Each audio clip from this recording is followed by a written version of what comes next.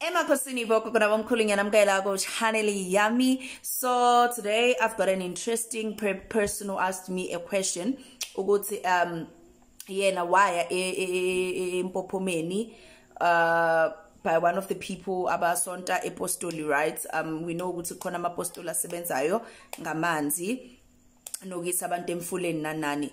And after that she saw changes um manje imvula uyayifila mayizonetha she connects a lot with rain. So unesithunywa samanzi. So uyabuza ukuthi is this okay? It is okay gogo. Unesithunywa samanzi. Isithunywa samanzi obviously it has to ukuthi masifanele sikhuphulwe noma sikhule ufanele usebenzise amanzi and it doesn't matter which kind of form of water.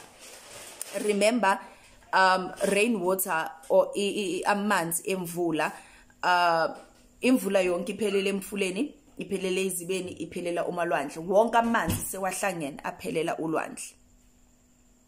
Right? So um as someone who connects with the water or you are a water child or nesithunywa samanzi i would also recommend ukuthi imvula mayinetha you know thathe ibhayi lakho uthathe isiphika sakho or just go outside emvuleni as it pours on you.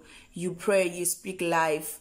Um uyasikhulisa uyathandaza. If kuthi qula ingoma zabo apostoli uthi riyawubo kamurena hey renze reta bela wena resaphila amunati kapabalo ya ntate girl makuthi rounders ngeza zongeza man have fun.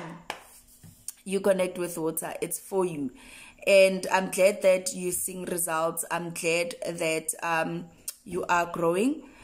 Um lalela isithunywa sakho isithunywa speaks in a lot of ways. Sometimes you might be thinking something kanti isithunywa sakho siyakhuluma sometimes you might be feeling something you know um you know mina angisadlali guys. People who vibrate on a lower energy angisadlali. Khona omunye uh she's a friend of mine. We last spoke i don't know 5 months ago on the phone. And she calls. And as i'm speaking to her i started having headaches. I i started feeling down ngakhathala. And i was like this is a cue hang up hang up hang up hang up. And i was so tired to the point of which i had to cleanse after that because i was like mm -mm, i'm not taking your energy. I'm not taking your energy. And i've discovered and realized as well that in this journey that i'm in i realized it's not my duty nor my purpose to change everybody nor to save anybody. To be there thinking trying to read people to be there thinking trying to heal people mm. because i've realized with all the people that we're trying to save and heal they don't actually need saving or healing. Actually not that they don't need it. They don't they think they don't need it. So you having to force yourself to them or force your beliefs to them it's invasion of somebody's privacy. Yeah but as much as we say that christians like um invading our privacy let's not also invade. But anyway hope you understand